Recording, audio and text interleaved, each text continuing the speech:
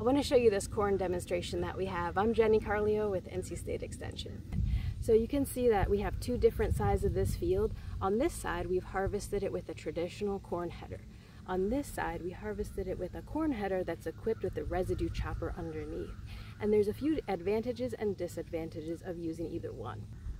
So on this side, where we have the residue really finely chopped, you can see here this residue is going to be able to come in contact with the soil much more easily and the more contact that residue has with the soil, the more contact it'll have with the microbes that are going to be able to degrade it.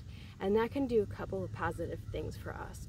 First of all, it will prevent um, the residue from interfering with the planter as we as we begin to plant our next crop, which probably is going to be wheat in this case.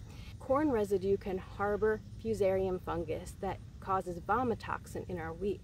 So we want to make sure that that residue is completely degraded before our wheat flowers where the, the fusarium fungus can begin to infect our wheat crop and create vomitoxin in our grain. Now on the side with the traditional header, we've got a couple advantages here too.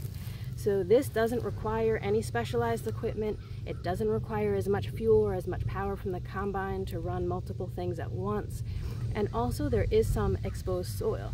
So if we have a smaller drill that we're gonna be using that doesn't maybe have as much downforce, we could potentially be able to get our crop in the seed in the ground a little bit better than we would have if we had uniform residue all across the field.